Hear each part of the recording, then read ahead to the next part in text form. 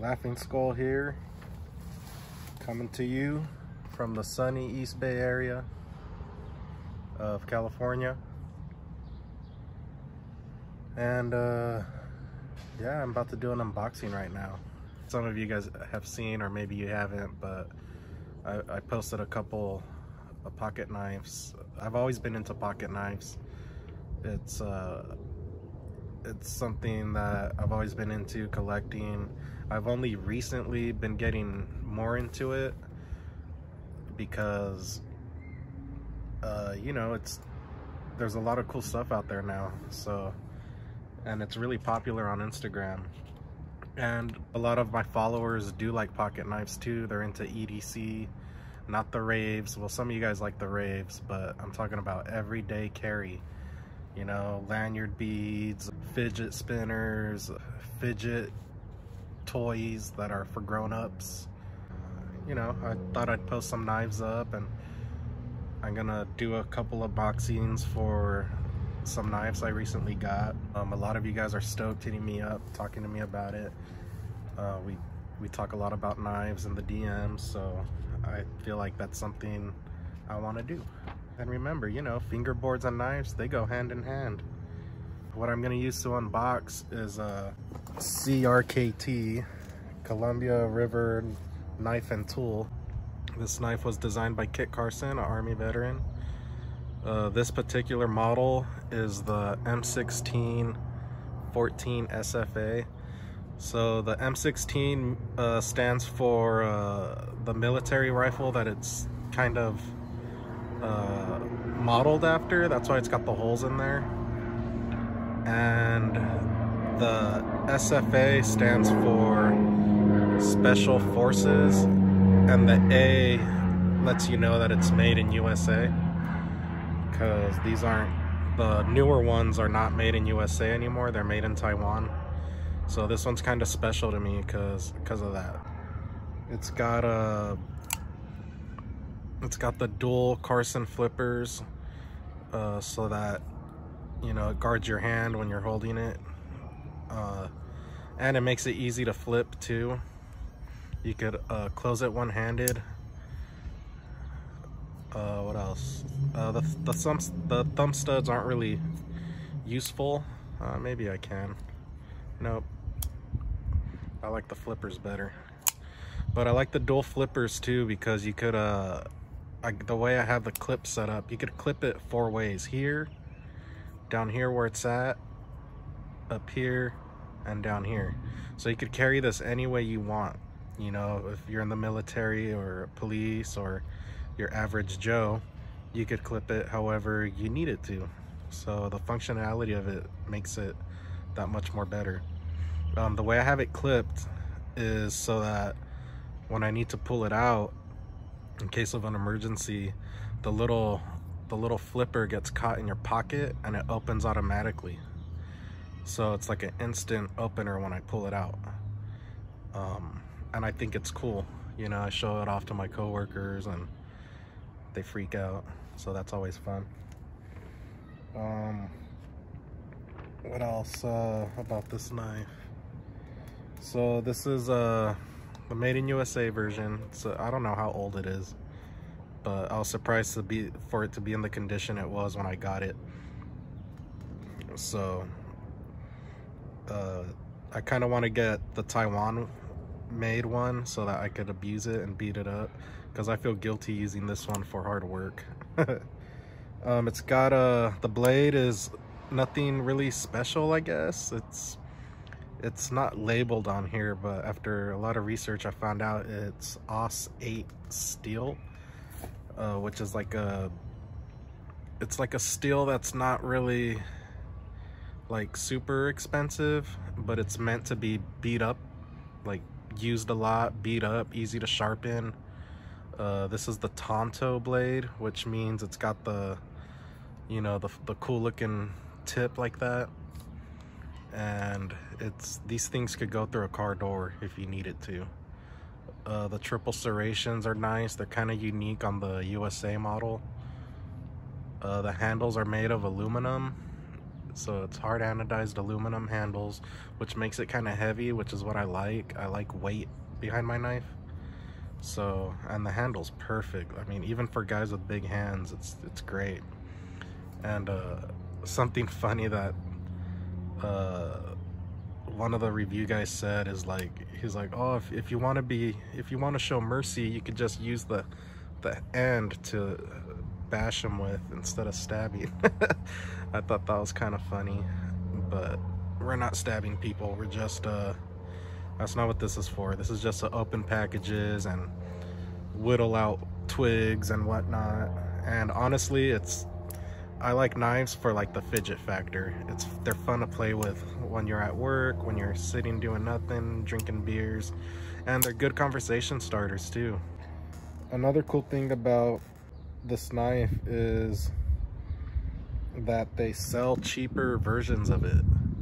So you could get a they still make the aluminum handle that's about a hundred bucks and they also have uh, G10 handles which is a little bit cheaper I think around $50 um, they have a couple other different plastic variations on the handles and, and they're lighter. It makes it lighter um, easier to carry not so heavy if, if you want something that's light. And it's still strong as hell. The G10 and and the the reinforced nylon I think it is. I, I don't I don't know something like that. It, it's really cool. Um, they come in tan black desert camo um, but they're really really good knives if you want to beat up on a knife or you want something intimidating looking or just something to play with and fidget around with. They're fun. Um, another thing about the new ones is uh, the little features they have. Um, the new ones have a feature called the auto locks, which means when you, here it's, this one has a lock, a liner lock, but it's not automatic. So what that means is this little liner lock here right there. That little liner lock will turn this into, quote, a virtual fixed blade, end quote. So that means here you have your liner, right, to close it. So if you're getting like, I guess if you're in the military and you're in the heat of battle, or if you're really trying to whittle some wood down for the campfire, um, to make this really secure and not collapse on your fingers and cut your fingers, um, you could turn this lock up, turn it up like that, and now the liner can't it can't go down anymore no matter how much force you put. I think it's like 500 pounds of force is what it takes to to break that down. So that's a cool feature uh, one of the reasons why i really like it um, in case I get attacked by a mountain lion. I, am extra secure. um, but who knows if your chances are good against a mountain lion with this little guy. But, uh, you know, it's there if you want it. Uh, I, I keep it off just so that I could open and close every time like I've been doing while I've been talking. Yeah, the new ones, they have an automatic liner lock. So that means when it opens, when they open it, the liner lock automatically springs up. It's got a spring, it's spring loaded, so it pops up and it automatically locks your liner. Unlike this one, this one is not automatic. I have to, I have to manually do it. So right now I could, you know, I opened it and it's still, I could close it. The new ones, they don't do that. They're automatic. So those ones are a little trickier. When this is sprung up, it's a little trickier to close. But, uh, you know, I, I don't know if I prefer this or the other one. Uh, I think they both have their place. Uh, I'm not against it. I like the new ones because it's got the auto lock is cool and has a little red dot to show off the liner lock that it has. So, yeah. That's my little knife review or whatever you want to call it for those who care, for those who are into knives.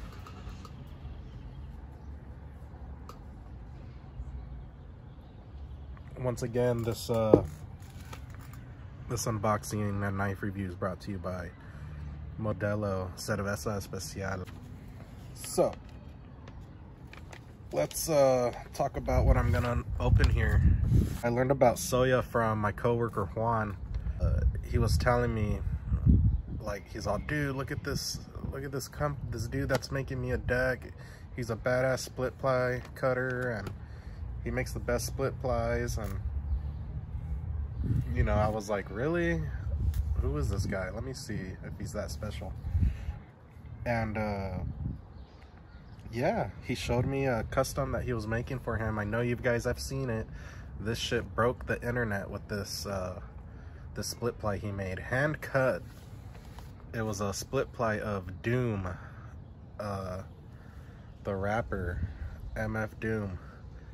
And that shit is crazy. The details are insane. And he was showing me the, the deck, like in the middle of him working on it. And I was like, dude, that's crazy. Let me go on this guy's page because I'm picky, man. Yeah, dude, he showed me this deck. It blew my mind. Um, I was just blown away at the, the MF Doom split ply. You guys should go look at it. If you haven't seen it, go look. Look at all his splits. Buy, buy some stuff. Show some love for that guy because he works hard and he's a good artist, man.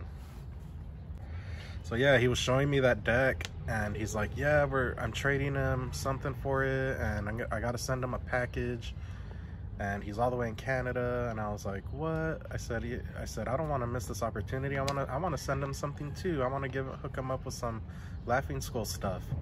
So he was like, all right. So I was trying to think. I wasn't really making stuff at the time. I didn't have wheels. I didn't have bags. I was like, what am I going to make for this dude? I found a like a little curved ledge thingy in the scrap bin. I, I didn't want to waste the opportunity to, to hook up a fellow fingerboarder. So I ended up uh, working on this curved ledge, kind of polishing it, and then uh, trying to get like some nice smooth corners on it so you could grind on it. And it was like an inch thick, all aluminum. It was aluminum.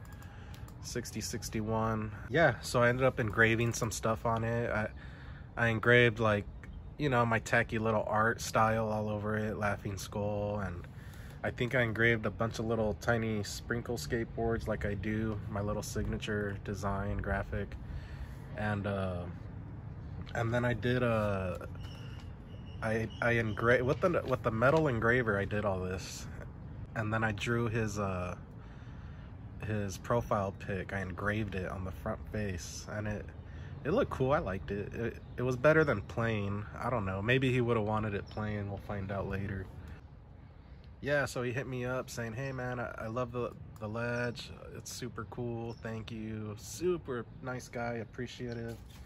And uh, I was like, yeah, man, I'm glad you like it. I, I couldn't, I had to send you something, man. Like, you know, me and Juan been talking about you. I'm a huge fan now of your stuff and you know, I wanted to hook you up with some East Bay, California goods from, you know, my brand and you know, it's all I had at the time. I, no wheels, no bags, but I think a, a solid heavy metal curved ledge is good enough. So, uh, yeah, he asked me what I wanted. Uh, he wanted to make me like a custom split, and I was like, oh my god, that's hella work, man. Like, but if you insist, I I had him make me. Uh, I'll show you. I'll show you what I had him make me. Let's do it.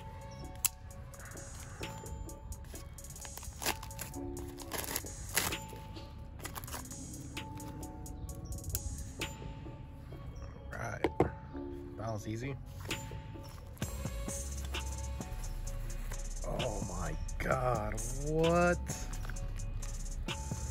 Dude. what is that? This is badass, dude. Already.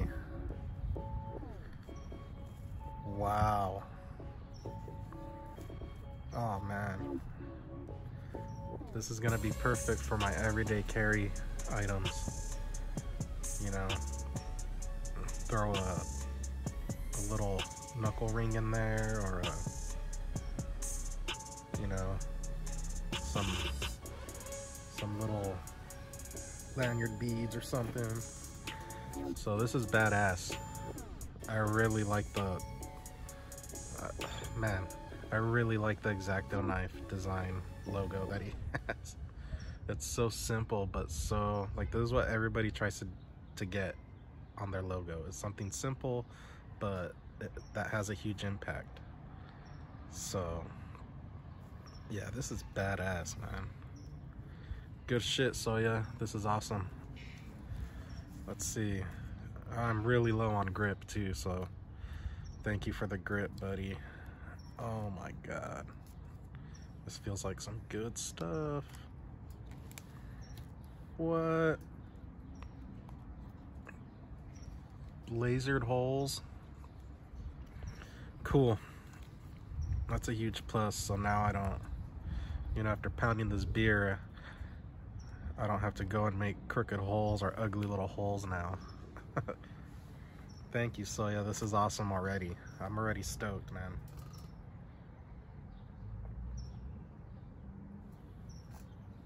All right. Let's see what else we got. Oh my god. Hella stickers, dude. I love stickers. I love stickers, man. Fuck yeah. Look at that. Oh, I hope the wind doesn't blow these away.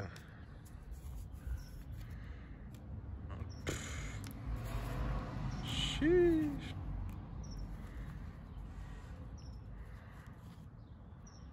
I love that Pokemon one. How badass is that? You guys, man, go follow Soya if you haven't already. Follow him. And get yourself some Pokemon stickers and a custom deck. I like the new moon one, the moon ones he's doing now. They're fucking badass. Alright. So, here we go. Oh my god two. Wow. Fuck. These are sick, dude. Oh my god. So, about the split ply I asked for. These are badass. I can't believe how sick these are. Whatever. Wow, I'll, we'll talk about the split ply later.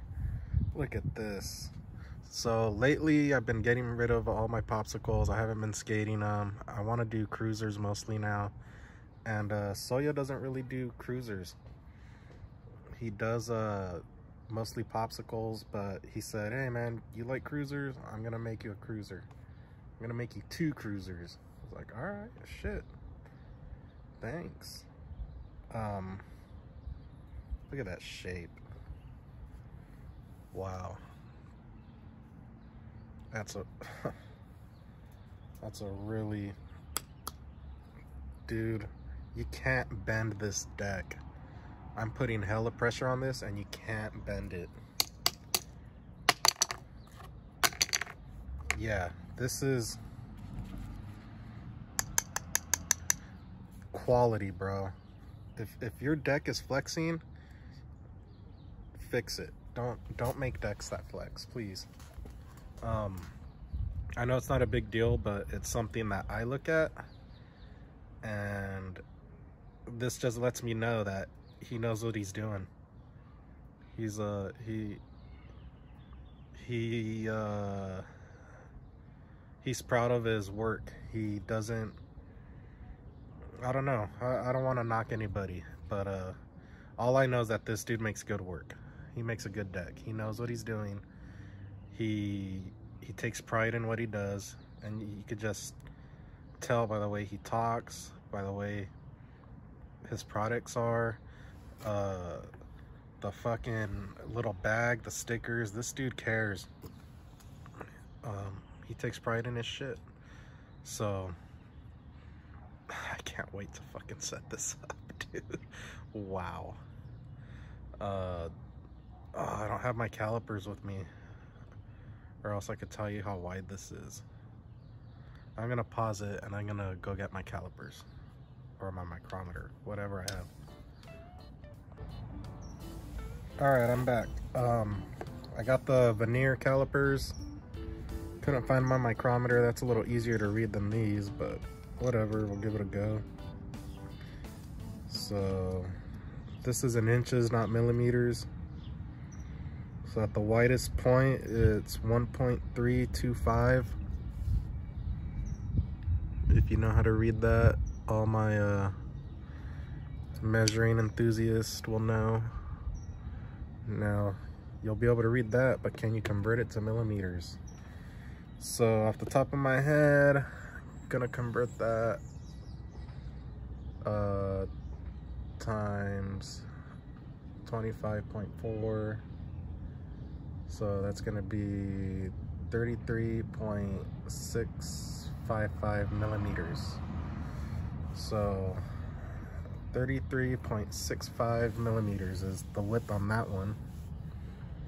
And uh, which is perfect. At 33 and a half is what I like to use for like videos. It's um, been trying to get into wider decks just because I like the way they look, the way your tricks look in, in videos, they look cool. And I got these big bear paws, so um, bigger, bigger decks, you know, let me say that clearly, bigger decks, fingerboard decks, uh, the bigger they are, the cooler they look in video. Um, that sounds funny.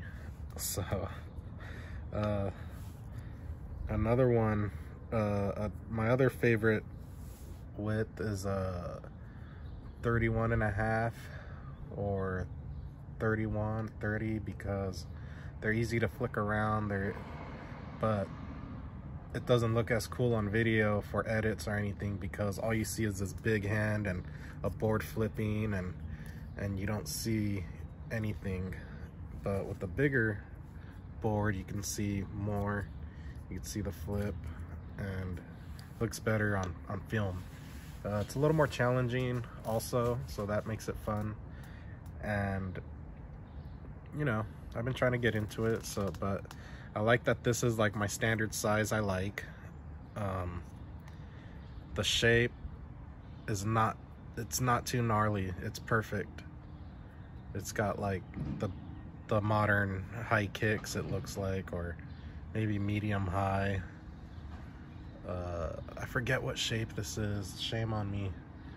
But I know, I know I tried it already. Juan, Juan has a bunch of these decks, and uh, he let me try them, and I was like, dude, what what shape is that? Okay, and I I messaged Soya right away. I said that's the shape I want. So I know I'm gonna like the shape already. Uh, now the one, the custom I wanted him to make me. So it was really hard to think of a, like, I, none of these splits are simple, but, you know, he was making it for me as a gift, and I didn't want him, I didn't want anything too difficult, and I think I still gave him a difficult design to make. Um, I, I told him to make me the BMX logo for S&M, because uh, you guys know I'm into bikes, BMX, and one of my favorite brands is S&M. And he fucking did it, dude. Can you believe he did it? What the hell? This dude is crazy.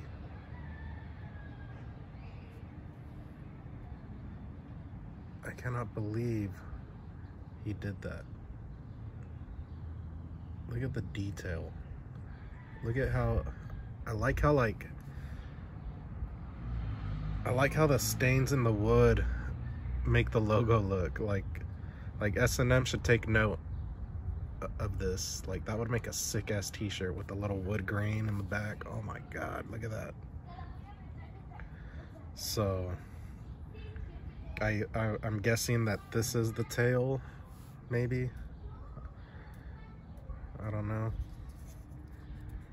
I should have I should have hit him up before I did this video, but whatever. Nah, that's got to be the tail. So, square nose, perfect. I can't wait to set these up.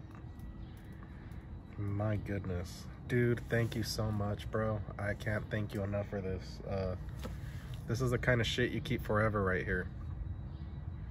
You know? Like, it's just such good quality. Just, you can't, man, dude, you cannot bend that. It's so, so solid. God, I can't get enough of that grain. So yeah, he made me the S&M logo. Look at What the hell, dude? How did he cut that and? How do you do that? Amazing. Amazing. So this one is, uh, so what happened was,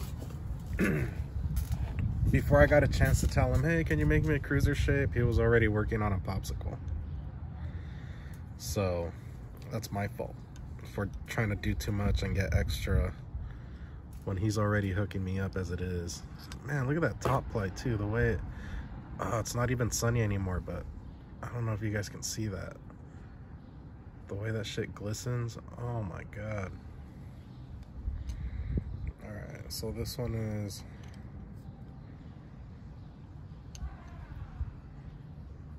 one inch 250